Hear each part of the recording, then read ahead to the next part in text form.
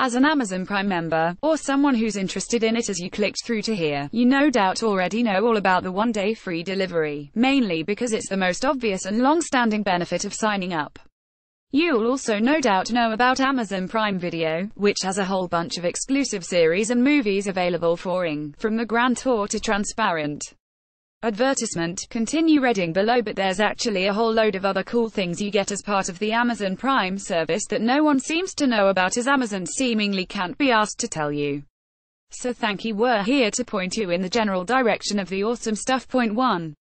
Prime Pantry If you're using a supermarket delivery service to get your weekly shopping, you might not be aware that Amazon offers exactly the same service but for a more cost-effective price. Prime Pantry is Amazon's virtual supermarket, a kind of bare-bones Ocado, and Prime members can get their necessities delivered for a first box rate of £2.99 and a subsequent 99p for each additional box. With frequent discounts and offers you currently get a £10 reward for spending £30, for example and pretty much every essential name brand available for delivery. This is a seriously underrated element of Prime. Get more information here. Point 2.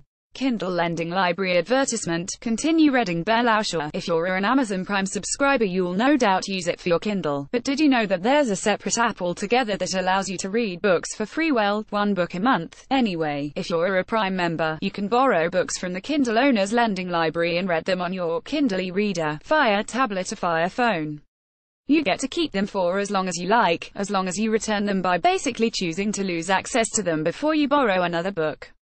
Get more information here. Point 3. First reads Speaking of books, Kindle's lending library ISNT the only way to get access to cheap or even free novels. First Reads allows you to pick up Amazon's Kindle selections which change monthly for free, or for the low price of £3.99. Get more information here. Point 4. Prime Music advertisement. Continue reading below.